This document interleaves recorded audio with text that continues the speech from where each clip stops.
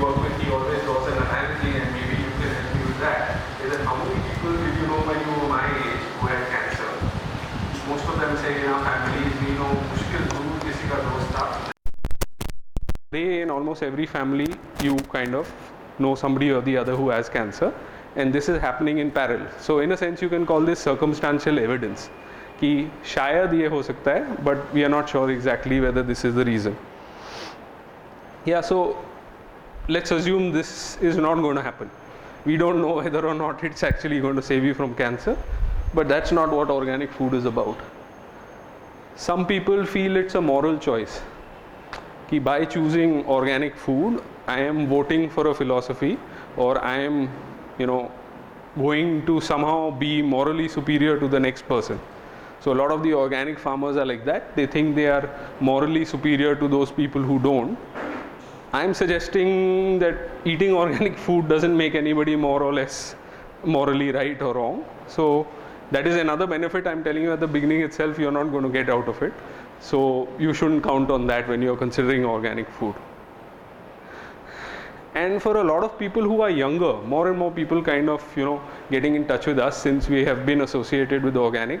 My wife is a part, a representative of Goa for the Organic Farmers Association of India and therefore you know a lot of people know she is involved with this and they feel that it's become a bit of a fad people of my age generally so everybody when they think that oh we are doing organic farming they think it is suddenly so radically cool as if you know पहले जो farmers कर रहे थे उसमें कुछ cool नहीं था but because I am doing it suddenly it is it's not that way by eating or growing food organically you do not become more fashionable or anything like that than you already were before. So that's another thing we can assume that you will not get it.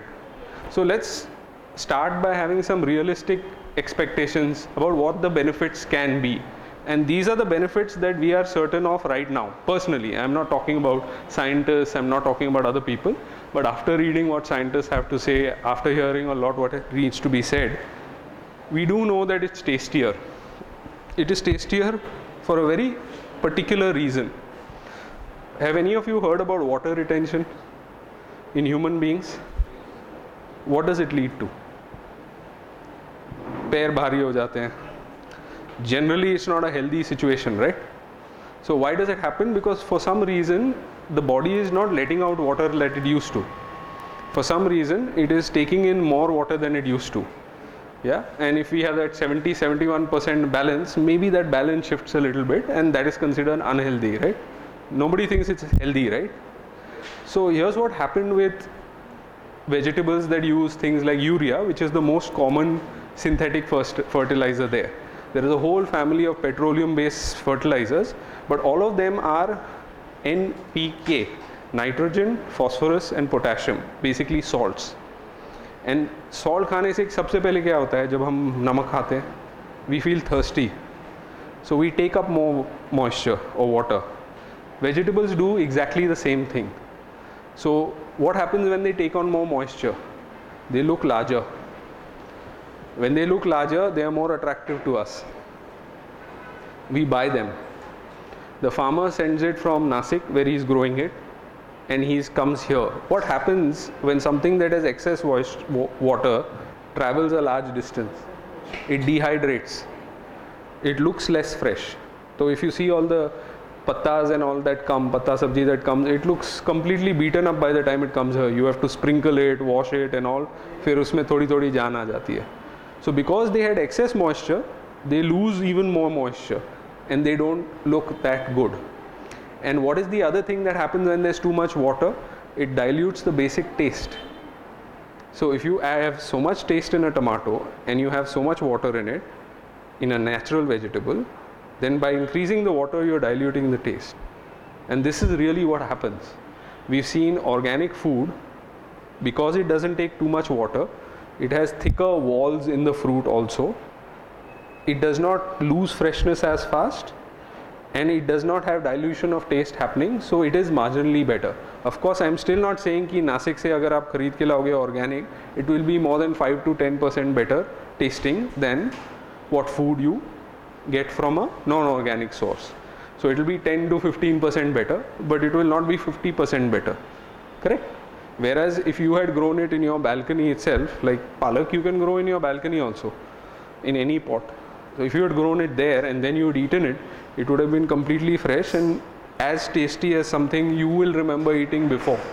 Because nobody of my generation has eaten good quality food or remembers eating it. So in the last 15 years or so we have seen a sharp decline. If you of course. Of course. Of course. Absolutely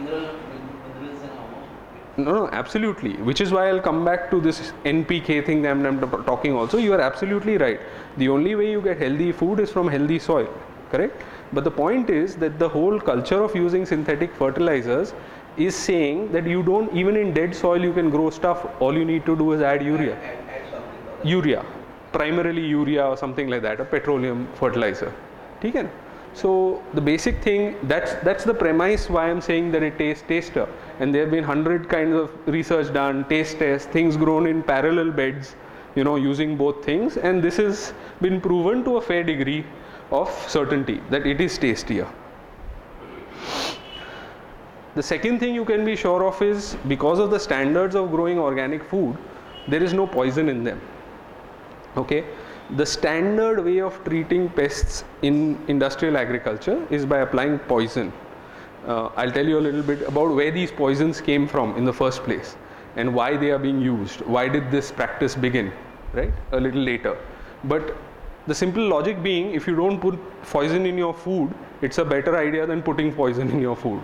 Right? You can go on arguing till you know we are old about whether this is good or bad or whether it harms us or not but not putting is always better than putting when it's something that you eat right?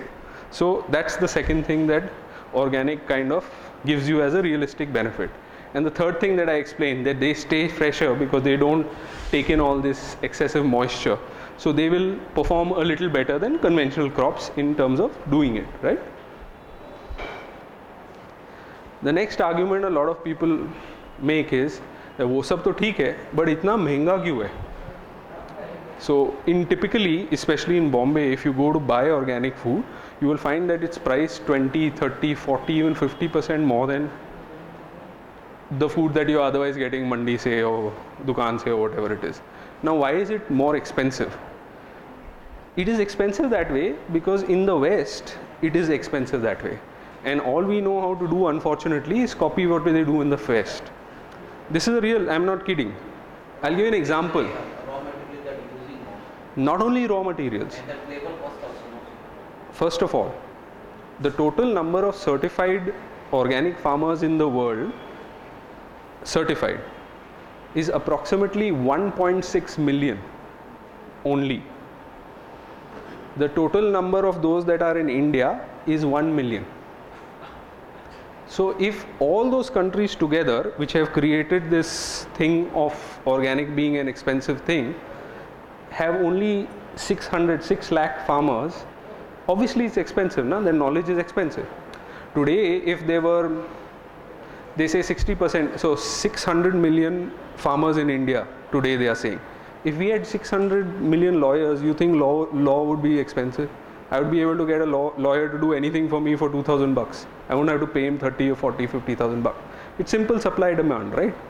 So this is the first thing. Abroad, they don't know how to grow things organically relative to how much people know how to do it here because even now in India there is much more than 1 million farmers these are only the certified there must be at least 5 million more who are doing it but are not selling it as organic so because 98% of the food there is not organic, the 2% that is is obviously available at a premium.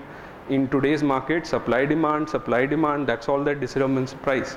And it has created an image, which is why our smart food chains over here are also saying premium. I grow, I know it costs me less to produce than it costs them. So our policy, person.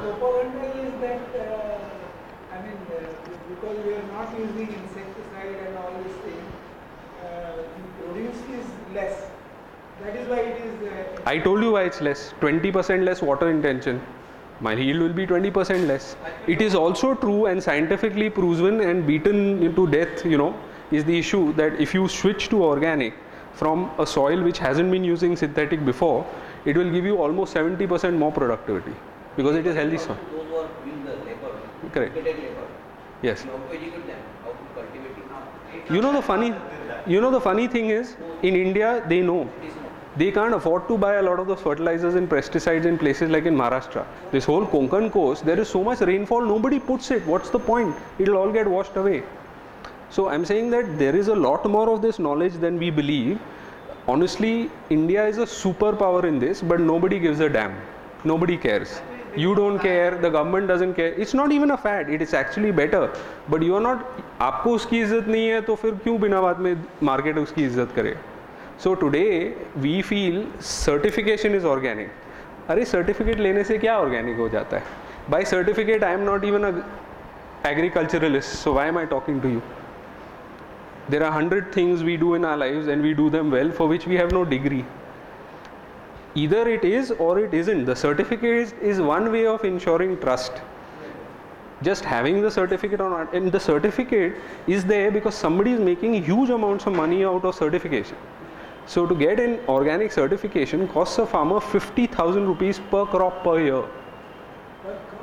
Why do you think that food is more expensive it depends. They are different. There is the international the germans have a system of this thing. There is india organic. There is even some pure guarantee systems. But at that price only the guys who have large industrial operations can afford the certification. Otherwise you can't afford it. Right? It's become like that, uh, you know, ISO 9000. it's exactly that. It's exactly that. So i'm saying that there are reasons why this price is more Tech, the other part of it which you should be bothered about much more than this is the fact that your government subsidizes conventional agriculture based on petroleum which is why fu- fuel price inflation is pinching us so much right now and it does not subsidize organic up till recently when it's beginning to say that it will but it hasn't materialized to any great extent today see an organic farmer doesn't need any of these things आपकी गाय है उसमें से खाद मिल रहा है उसको अंदर डालना है वहाँ पे घास जो उग रही है, उसमें से दवाई बन के पेस्टिसाइड बन जाता है आपका। धूप आ रही है, बारिश आ रही है। You don't need to buy anything so what do I need to be subsidise for nothing so I am saying if you consider that then you will understand why food has been so cheap before the last five years so why is it that it's more expensive to get apples from Himachal when is the last time you ate